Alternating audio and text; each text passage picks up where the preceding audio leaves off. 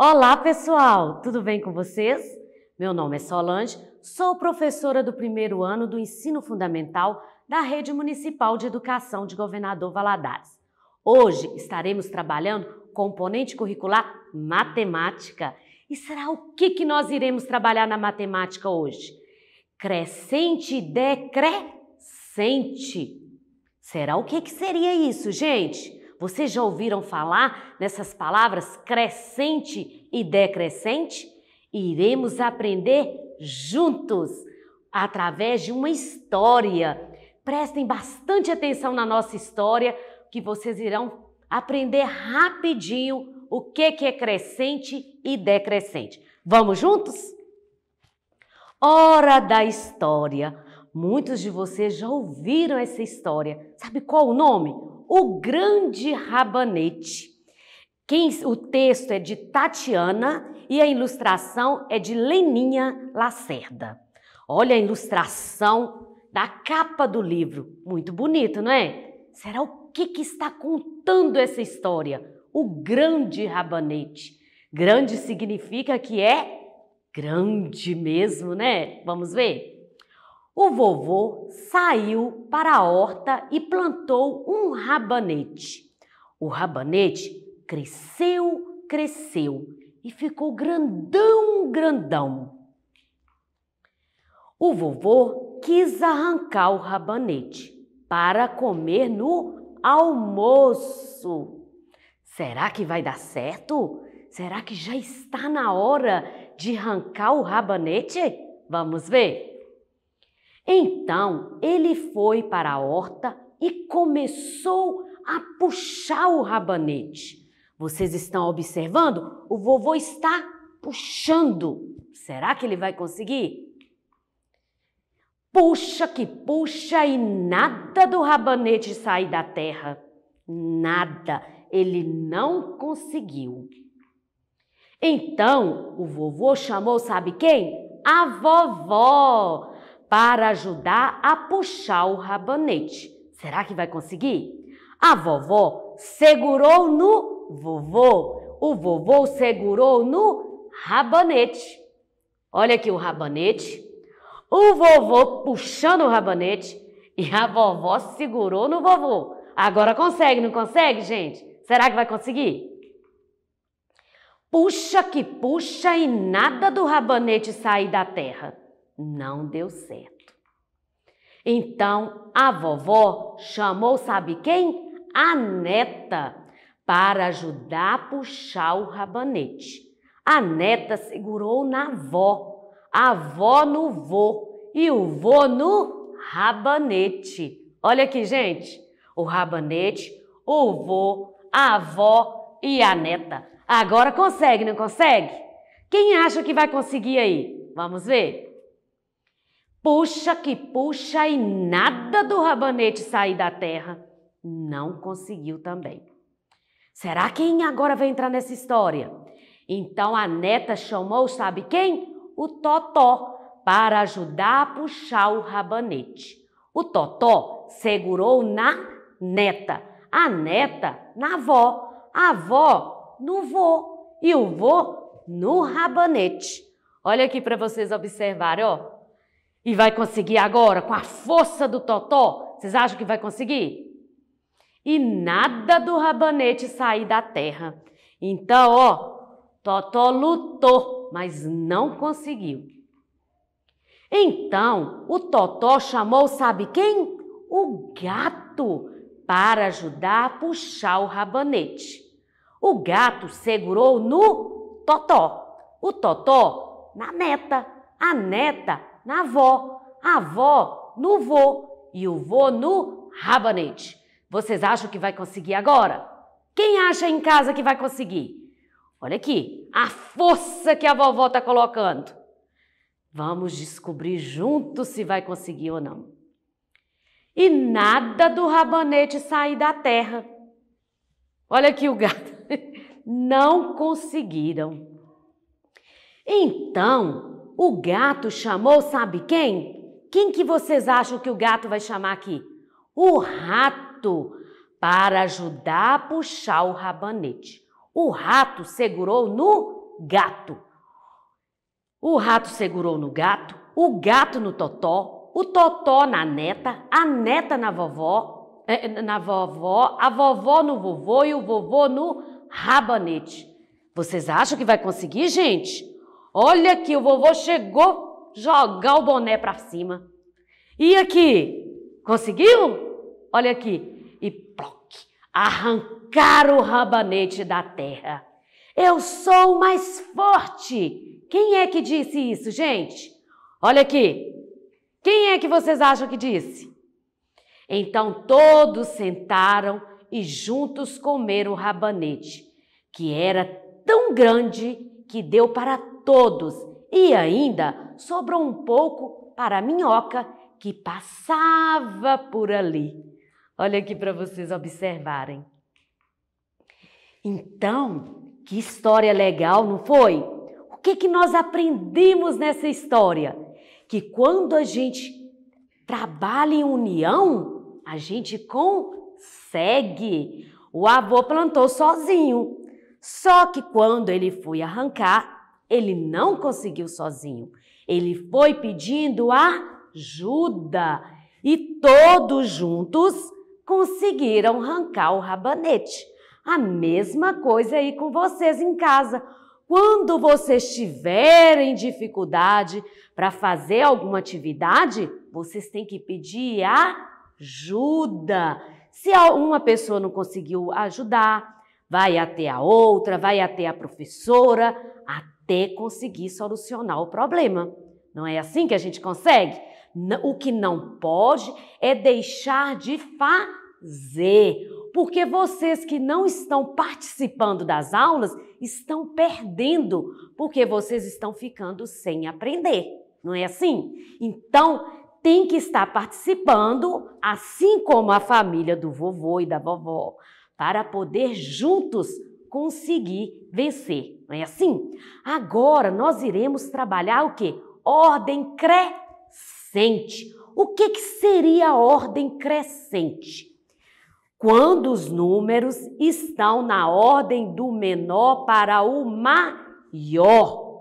Então, o que que fala assim? Vocês vão colocar os objetos na ordem crescente. Vai crescente, o próprio nome está falando. Crescente, vai crescer. Então, é do menor para o maior. Aquele menor vai fazendo a fila e vai indo para o maior.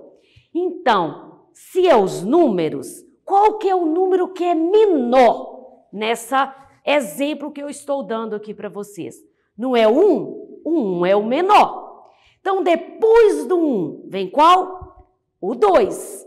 Depois do 2, o 3. Depois, o 4. Depois, o 5. Não é assim? Vamos lá. Eu tenho uma bola. Eu ganhei duas. Então, aumentou minha quantidade de bola. Então, vai acrescentando. Não é assim? Quando você tem vá, você tem um carrinho. Você fala assim: ah, eu quero que aumente a quantidade dos meus carrinhos. Então, vai ficar na ordem crescente. Um, depois dois, e assim vai crescendo, na ordem crescente. Então, vamos observar aqui. Ordem decrescente. Nós aprendemos a ordem crescente, agora é a ordem decrescente. Quando os números estão na ordem do maior para o menor. Então, crescente é do menor para o maior. Decrescente é do maior para o menor. Então, aqui, crescente nós iniciamos pelo 1. Agora, decrescente, que vai diminuir, ó, do 5 para o 4, do 4 para o 3, do 3 para o 2 e do 2 para o 1. Aí é o decrescente. Olha aqui para vocês observarem aqui. Na imagem da história, o vovô era o maior. Então foi ó, o vovô, a vovó, a netinha, até chegou no rato. Tá vendo? E aqui, no crescente ficou como? O rato e foi indo até chegar no vovô, que era o maior. Tá vendo? que é o crescente, foi crescendo. Então agora nós iremos fazer uma atividade. Será como que a gente vai fazer essa atividade? Coloque os números em ordem crescente. Então nós aprendemos que crescente é do menor para o maior. Observando todos esses números aqui, qual que é o número menor aqui? Para a gente organizar aqui. Vamos ver? É o numeral 1. Olha aqui, o numeral 1 é o numeral menor. E agora, qual vai ser o próximo dessa relação aqui? Vocês já conseguem falar aí para mim. O 2. E depois do 2? É o 3. E depois do 3? O 4. Tá vendo? E depois do 4? O 5. E o próximo? Quem consegue falar aí para mim? O 6. Isso mesmo. E agora? O 7. E depois do 7? O 8. Tá vendo? E agora o 9. Então, nós conseguimos colocar na ordem crescente do menor para o maior. Então, ordem crescente, você sempre irão observar na própria palavra crescente, que está crescendo. Então, do menor para o maior. E decrescente é do maior para o menor. Vamos para a próxima atividade? Olha aqui. Em que ordem a família de Pedro está? Vocês aprenderam que crescente é do menor para o maior. Só que aqui está perguntando qual a ordem que está a família de Pedro. Quem é o menor aqui e quem é o maior? Então aqui está o pai, o maior, depois está a mãe, a irmã do Pedro, o Pedro e o animalzinho. Não é assim? Então está na ordem o quê? Decrescente, que é do maior para o menor. Não é assim? Então está diminuindo. Começou no maior e foi diminuindo e foi diminuindo, ó. Maior foi diminuindo, está decrescente. Então, e se fosse crescente, então teria que ser o cachorro primeiro, depois o Pedro, depois a, a irmã do Pedro, a mãe e o pai. Então aí seria crescente, que seria do menor para o maior. Então, vocês gostaram de aprender um pouco sobre crescente e decrescente? Agora eu faço uma pergunta para vocês. Será que vocês conseguem observar nos seus lápis de cor qual, como que você colocaria os seu, seus lápis de cor do crescente? O que, que seria crescente? Do menor para o maior. Então você vai pegar o seu lápis de cor menor e aí você vai marcando menor e vai colocando a posição até chegar ao maior. Aí seria o crescente. E se você quiser colocar o seu lápis de cor no decrescente, você vai pegar o lápis de cor maior, aquele que está novo ainda, vai ser o primeiro. Aí você vai colocando para diminuir. Tá entendendo? Aí seria decrescente. Será que você poderia fazer aí na sua família? pegando a sua família e colocando na ordem crescente. Então, quem seria primeiro aí na família de vocês? A pessoa maior. Quem é maior aí na sua casa? É a, a para colocar na ordem decrescente. Quem seria o maior aí na sua casa? É o seu pai ou a sua mãe? Então vamos lá. Se for o seu pai, aí é o pai, depois a mãe, aí você iria colocando até o menor. Se tiver um animalzinho, se for um cachorro pequeno, ele é o menor. Então seria da ordem decrescente, do maior para o menor, certo? E se fosse na ordem crescente, então seria, se tem um cachorrinho, então seria do cachorro aí para é você, é seu pai e sua mãe? Então seria nessa ordem. Você pode fazer também com seus carrinhos, com seus brinquedos, ou até mesmo fazer em forma de círculo.